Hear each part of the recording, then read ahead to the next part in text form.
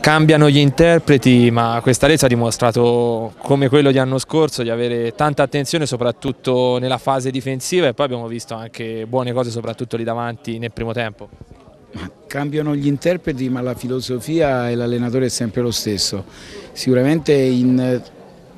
pochissimi giorni siamo riusciti a dare un'identità ma soprattutto una cultura del sacrificio, dell'abnegazione per alcuni tratti, seppur una squadra nettamente più giovane di quella dell'anno scorso, sembravano gli stessi interpreti, no? non lottano contro una squadra cattiva, contro una buona squadra, perché noi si è giocato contro una squadra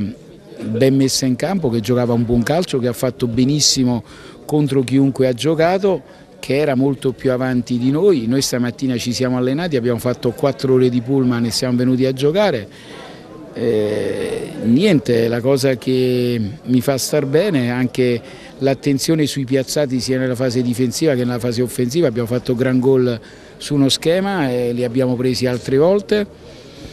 Abbiamo sofferto soltanto nella fase finale del primo tempo dove eravamo scoppiati con l'intera catena di destra, però poi anche il secondo tempo con tutti i 96 la squadra ha tenuto bene il campo, quindi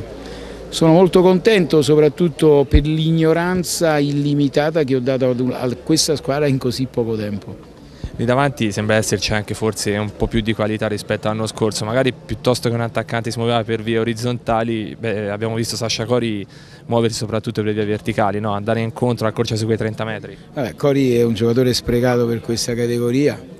io ho lavorato per la proprietà, per il presidente Ferretti ma ho lavorato per il popolo aretino, per quella gente che mi ama, anche se magari a qualcuno darà fastidio che io dico queste cose, senza fare un giorno di vacanza né io né la mia famiglia per prendere questi giocatori.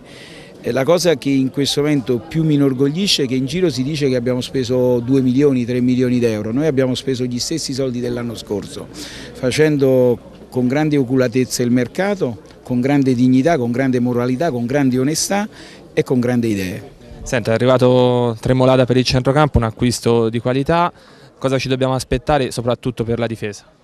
Ma eh, voi sapete come lavoro io, quindi io non prendo tanto per prendere, non vado all'S lunga, mi manca, il giocatore lo vado a prendere oppure mi faccio prendere da crisi d'ansia. Io Tremolada l'ho inseguito, mi serviva una mezzala di sinistra, uno che calciasse benissimo i piazzati, perché è lì che noi costruiamo gran parte dei nostri successi e l'ho preso. Adesso penso che stanotte chiuderò uno dei centrali più forti in assoluto della categoria e probabilmente domani lo ufficializzeremo anche.